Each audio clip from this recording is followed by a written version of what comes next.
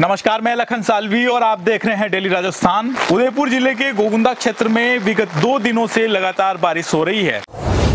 तीन सितंबर को पूरे दिन बारिश हुई थी और उसके वनस्पत यहाँ के जो जलाशय हैं, एनिकट है, बाँध है, तालाब है, वो लबालब हो गए और ओवरफ्लो हो गए। पानेर ग्राम पंचायत के गोदो का गुड़ा गाँव में एक 30 वर्षीय विवाहिता की आकाशीय बिजली के चपेट में आने से मौत हो गई। गोगुंदा उपखंड क्षेत्र में ओबरा खुर्द, राणा तालाब, राव मादरा का तालाब, भारोडी का तालाब और पाटिया का तालाब, ये तालाब छलक चुके हैं। गोगुंदा से ओगना का मार्ग कल आठ घंटे तक बंद रहा। स्कूल के बच्चों को खास तौर पे परेशानी का सामना करना पड़ रहा है। बारिश का पूरा पानी स्कूल में भर गया है। लगातार दो दिन से हो रही बारिश के चलते कच्चे रास्ते खराब हो गए हैं। उदयपुर ज़िले के गोगुंदा क्षेत्र में विगत दो दिनों से लगातार बारिश हो रही है। तीन सितंबर को पूरे दिन बारिश हुई थी और उसके वनस्पत यहाँ के जो जलाशय हैं, एनिकट है, बाँध है, तालाब है, वो लबालब हो गए और ओवरफ्लो हो गए। गोगुंदा उपखंड क्षेत्र में तीन बड़े बाँध है सबसे बड़ा बाँध रेठो का नाका बाँध है, जिसका गेज तो साढ़े छब्बीस फीट ही है, लेकिन उसकी भराव क्षमता जो है वो 141 सौ है।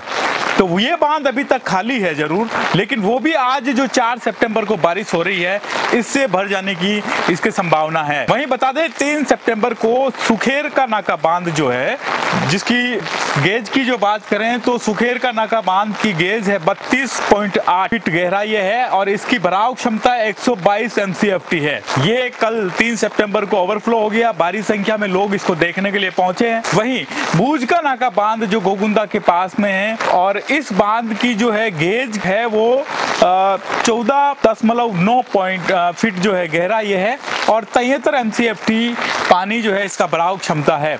और ये बाँध भी जो है ओवरफ्लो हो चुका है। हालाँकि ये इससे पहले पिछले सप्ताह में जो बारिश हुई थी, तभी भूज का नाका बाँध जो है ओवरफ्लो हो गया था। लेकिन लगातार अभी जो दो दिन की बारिश हो रही है, इससे भारी मात्रा में पानी यहाँ से ओवरफ्लो हो रहा है। लोग देखने के लिए पहुँच रहे हैं खास तौर पर तीन सितंबर को जो हम देखे तो भूज का नाका बाँध पर कस्बे सहित आसपास के गाँव के लोग भारी संख्या में यहाँ पहुँचे हैं। वहीं सुखेर का नाका बाँध के ओवरफ्लो होने से क्षेत्रवासियों में खुशी का माहौल है। गोगुंदा उपखंड क्षेत्र में जहाँ बादल बने हुए हैं, एक तो हम बता दें कि ये अरावली की पहाड़ियों से गिरा हुआ क्षेत्र है और यहाँ पर पिछले दो दिन से भारी मात्रा में जो है बादल यहाँ पे मंडरा रहे हैं और बारिश जो है यहाँ पर हो रही है। इसके साथ ही यहाँ पर आकाशीय बिजली जो है, वो भी रह रह कर कड़क रही है और लोगों को सावधान रहने की ज़रूरत है। तीन सितंबर को पानेर ग्राम पंचायत के गोदो का गुड़ा गाँव में एक 30 वर्षीय विवाहिता की आकाशीय बिजली के चपेट में आने से मौत हो गई। आपको बता दें कि अणछी बई पत्नी कालू सिंह राजपूत, जिनकी उम्र लगभग 28-30 वर्ष थी, वो सुबह चारा लेने के लिए खेत पे गई थी और वहाँ से जब लौट रही थी तो बनास नदी के किनारे किनारे पर जो सड़क है, उस सड़क पर से होते हुए अपने सिर पर उसके चारे का भारा था और वो चारे को लेकर घर लौट रही थी और अचानक से बिजली कड़की, आकाशीय बिजली गिरी, उसकी चपेट में अड़ची आ गई और उसकी मौके पर ही मौत हो गई। उसके बाद में पानेर ग्राम पंचायत के सरपंच पति समाज सेवी शंकरलाल गमेती सहित दर्जनों लोग मौके पर पहुँचे और सायरा पुलिस को सूचना की, जिस पर सायरा पुलिस मौके पर पहुँची और सबको जो है सायरा सीएससी की मोर्चरी में ले जाया गया, जहाँ उसका पोस्टमार्टम करके सब परिजनों को सुपूर्द कर दिया गया। मतलब हम इस वीडियो के माध्यम से बताना ये चाह रहे हैं कि आकाशीय बिजली कड़क रही है, मौसम खराब है तो इसमें सावधानी रहे और जब कभी बिजली कड़कती है तो उकड़ू होकर ज़मीन पर बैठ जाए, इससे थोड़ी सी संभावना बचने की बन जाती है। लोग बरसात के ओवरफ्लो के पानी को देखने के लिए पहुँच रहे हैं। आपको बता दें कि गोगुंदा उपखंड क्षेत्र में ओबरा खुर्द, राणा तालाब, राव मादरा का तालाब, भारोडी का और पाटिया का तालाब। ये तालाब छलक चुके हैं। देखिए, ओबरा खुर्द का भी अच्छा खासा तालाब है। और तालाब में देखा जाए तो पिछले आठ दिन पहले ये तालाब लगभग खाली था, लेकिन इन आठ दस दिनों में जो बारिश हुई है, उससे भारी मात्रा में आवक हुई है और ओबरा खुर्द का तालाब जो है भर चुका है। गोगुंदा में सबसे बड़ा तालाब है रानी राव तालाब। वो अभी तक नहीं भरा है, क्योंकि इस तालाब में पानी की आवक बहुत कम है।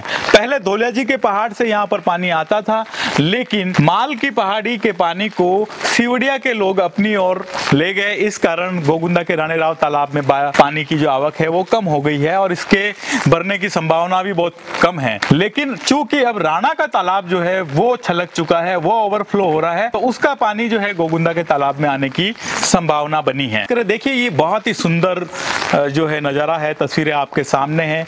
ये राव मादरा ग्राम पंचायत क्षेत्र के मन्ना जी का गुड़ा गाँव के पास में ये तालाब एनिकट है, दरअसल ये। और गोगुंदा सायरा मार्ग पर जो समिति है, उससे थोड़ा आगे चलते हैं तो वहाँ ये निकट लेफ़्ट साइड में हमें दिखाई देता है। यहाँ पर आने जाने वाले पर्यटक जो है, इस रोड से जो भी गुजरते हैं, वो यहाँ पे रुक रहे हैं इसको देखने के लिए। और यहाँ का जो पानी है, एक तरीके से ये मिनी बागेरी नाका जैसा दिखता है। पानी यहाँ से छलकता है। हालाँकि ये छोटा है, लेकिन पानी की आवक इसमें अच्छी है। तो ये जो सुंदर नज़ारा है, ये मन्ना जी का गुड़ा के एनीगट का है। ये तस्वीरें हमें उपलब्ध कराई है मन्ना जी का गुड़ा के पवन मेघवाल ने। ये जो राणा की जो तस्वीरें आप देख रहे हैं, राणा तालाब से जो है, ये जो तस्वीरें हैं ओवरफ्लो की, ये हमको राणा गाँव के दुर्गेश मेघवाल ने प्रोवाइड करवाई है। तो ये दृश्य आपके सामने है। ये देखिए, भारोड़ी और पाटिया का जो है, शंभू सिंह राजपूत भारोड़ी के हैं, इन्होंने ये वीडियो हमें भेजा है। बारोड़ी गाँव में का जो तालाब है, वो भी छलक चुका है। और पाटिया का तालाब भी छलक चुका है। तो इस तरीके से जो है लगातार दो दिन से जो बारिश हो रही है, इसने लोगों की जो है आस है, उसको कहीं ना कहीं पूरा किया है। लोगों को लग रहा था इस बार की बारिश कम हुई है और इसका असर कहीं आगे की रबी की फ़सल पर पड़ेगा और पेयजल पे भी पड़ेगा। लेकिन बारिश के होने से अब लोगों की और जलाशयों के इन सब के बढ़ जाने से लोगों में एक उम्मीद जगी है, आस जगी है और सभी में खुशी का माहौल है। वही देखिए किसान दुखी भी है। एकदम से जो इतनी बारिश हुई है, उससे फ़सलों को नुकसान हो रहा है। यहाँ पर लोग लोगों ने सोयाबीन की खेती कर रखी है, मक्का की फ़सल बो रखी है। तो खेतों में लगातार ये जो बारिश गिरा है, इस बारिश से खेतों में पानी भर गया है और लोगों के लिए फ़सलों को बचाना मुश्किल हो गया है। इसे एक तरीके से अतिवृष्टि कहा जा सकता है और सरकार को, किसानों की स्थिति को देखते हुए मुआवजा राशि जो है तुरंत इस पर तय करनी चाहिए और सर्वे है जो, वो तुरंत करवा लेना चाहिए। उदयपुर ज़िले में लगातार दो दिन से हो रही बारिश के चलते बारिश का पानी जो है वो लोगों के लिए परेशानी का सबब भी बन गया है। देखिए उपखंड क्षेत्र गोगुंदा की बात करें तो यहाँ पर चार पाँच मुख्य मार्ग है और इन मार्ग पे कहीं कहीं छोटी पुलिया है। और छोटी पुलिया होने के कारण जब भी तेज बारिश होती है तो उसका पानी इन पुलियाओं के ऊपर से बहता है। हम बात करें, देखिए, गोगुंदा से ओगना का मार्ग कल आठ घंटे तक बंद रहा। ये ऊटिया भाटा एक जगह है जहाँ पर पुलिया के ऊपर से पानी बहता है। तो ऐसे में उधर के लोग, उधर, इधर के लोग, इधर। आठ घंटे तक लोगों ने यहाँ पर इंतज़ार किया। पाँच साल पहले ये सड़क बनाई थी, तब भी सजेशन दिए गए थे कि इस पुल को ऊँचा कर लिया जाए, लेकिन इसको ऊँचा नहीं किया गया। और इसी का नतीजा है कि यहाँ पर ऐसी स्थिति बनी है और लोगों को जो है परेशानी का सामना करना पड़ा। वास ग्राम पंचायत क्षेत्र में वास मुख्यालय से और एक तरीके से ग्राम पंचायत भवन के ठीक सामने ये वाकल नदी बहती है और वाकल नदी के ऊपर ये पुलिया बना हुआ है जो काफ़ी छोटा है। पुलिया के उस पार नरसिंहपुरा गाँव है, जहाँ पर वाकलेश्वर महादेव का प्रसिद्ध मंदिर भी है। अब कल जब बारिश हुई तब का ये नज़ारा है। नदी में पानी बह रहा था और पानी पुलिया के ऊपर से होके गुजरा। ऐसे में यहाँ भी स्थिति ऊटिया पाटा जैसी हो गई। नरसिंहपुरा के लोग नरसिंहपुरा में और वास गाँव के लोग वास में। एक दूसरे गाँव में आना जाना मुश्किल हो गया था।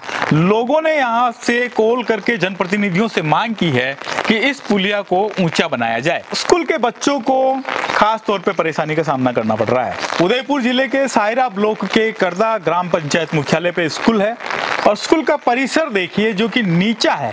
यहाँ से पानी की निकासी की कोई व्यवस्था नहीं है। ऐसे में बारिश का पूरा पानी स्कूल में भर गया है। अब इसके स्कूल के मुख्य द्वार से स्कूल भवन में जाया जाए तो कैसे जाए? छोटे बच्चे काफ़ी देर तक स्कूल में रुके रहे और देर शाम को घर गए। कारण था कि लगभग डेढ़ दो फीट पानी स्कूल के परिसर में भर गया था। तो स्थानीय प्रशासन को, जनप्रतिनिधियों को और विभाग को ध्यान देना चाहिए। और यहाँ के इस बेस को जो है, इसका जो आधार है परिसर स्कूल परिसर का, इसको थोड़ा ऊँचा उठाने की यहाँ पे ज़रूरत है, जिससे जल्दी कर देना चाहिए। लगातार दो दिन से हो रही बारिश के चलते कच्चे रास्ते खराब हो गए हैं। तस्वीरें जो है, गोगुंदा उपखंड क्षेत्र की है और ये मजावत ग्राम पंचायत क्षेत्र के बडुंदिया गाँव की है। बडुंदिया गाँव से लोग देखिए, अपने बच्चों को किस तरीके से स्कूल भेज रहे हैं। रास्ता ऐसा है कि इसमें साइकिल चलाना भी मुश्किल है, पैदल चलना भी मुश्किल है। बच्चों को सरकारी स्कूल में भी जीपों से भेजना पड़ रहा है। यहाँ पर लोगों का कहना है कि कई बार ग्राम पंचायत को कहा है कि इस रास्ते पे ग्रेवल डाला दे, लेकिन यहाँ पे ग्रेवल नहीं डाला गया है। जिसके चलते कीचड़ हो रखा है और जगह जगह पर पानी भरा हुआ है। छोटे बच्चों की आवाजाही यहाँ से पैदल हो पाना नामुमकिन है। ऐसे में परिजनों ने ये गाड़ी बुक की है। किराए पर ये जीप की है और इस जीप के माध्यम से बच्चों को सरकारी स्कूल में भेज रहे हैं। तो सरकार को ऐसी दशाओं को देखना चाहिए और खास तौर पर जनप्रतिनिधियों को विशेष ध्यान देकर ऐसे रास्तों को ठीक करवाना चाहिए। गणेश जी का गुड़ा की बात करें, गणेश जी का गुड़ा से सेमटाल के बीच में भी ऐसा ही रास्ता है। उसे भी ठीक करवाने की ज़रूरत है और ऐसे दर्जनों मार्ग है जिन्हें ठीक करवाने की ज़रूरत है। अन्यथा इसका असर कहीं कहीं बच्चों की पढ़ाई पर पड़ रहा है।